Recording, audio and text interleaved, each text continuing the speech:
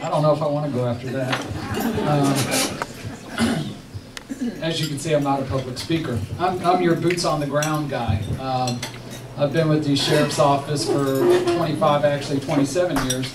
18 of that working in the school system, um, starting as a school resource officer and working my way up to now supervising the school resource officers. Um,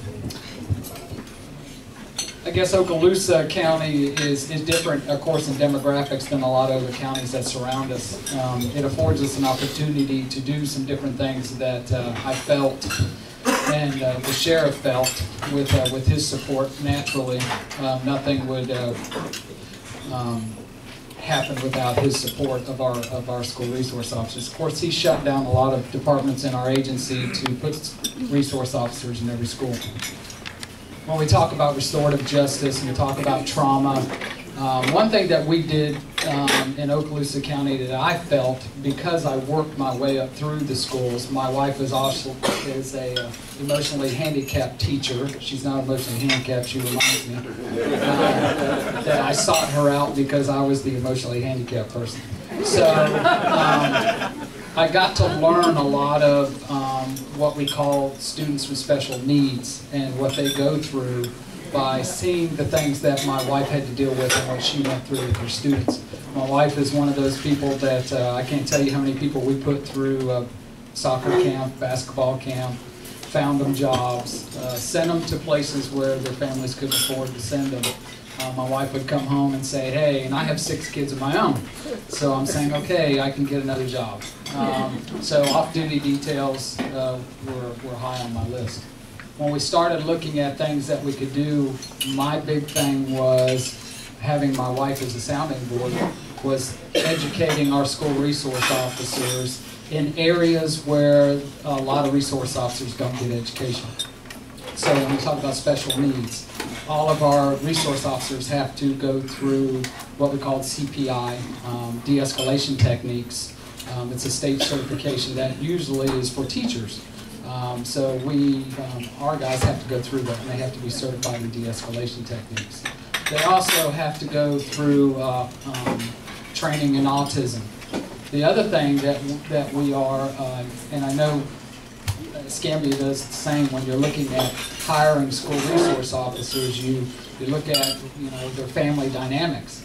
So when we started putting a bunch of resource officers in the school, and the sheriff gave us carte blanche to pick who we wanted, we looked at family dynamics. And I think one of the things that helped us was my deputies who have special needs children, I put in special needs schools.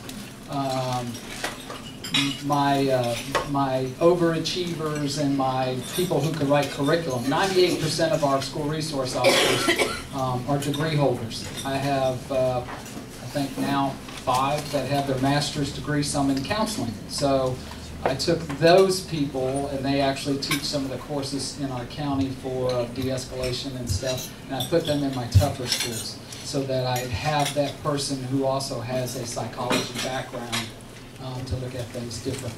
Um, so I've been fortunate. I'm fortunate that uh, in the right time, in the right place, the right people came forward, and we were able to have a big selection, um, probably more so than a lot of agencies when you start looking at those things. Um, I appreciate getting invited to come over because, um, of course, I'm a short Italian guy who, if I talk, I keep talking. So I, I promise I, will try not to do that. Um, but uh, I think the other thing that I see is that um, going down to Tampa and sitting on the Juvenile Justice Partnership Group um, and listening, listening about trauma research um, I'm a product of child abuse. I'm not ashamed of it. I'm also a product of molestation. I'm not ashamed of that. Um, product of a single parent. I'm not ashamed of that. Um, how did I survive all that? Is now what I teach my guys to look at when uh, we're dealing with people who might act out. Um, we had a student this morning that uh, told one of my SROs some colorful words, um, and before we were done with it, they were in handcuffs. We de-escalated them. At the end of it, the questions that we teach them to ask is, um, why? Why did he do the, the things that he did. And in the end of it, it was uh, pretty simple, you know, coming from a, a single-parent family, I understand um, some of the challenges some of these youth have. So um, with that, I uh, will turn it over to my esteemed colleague.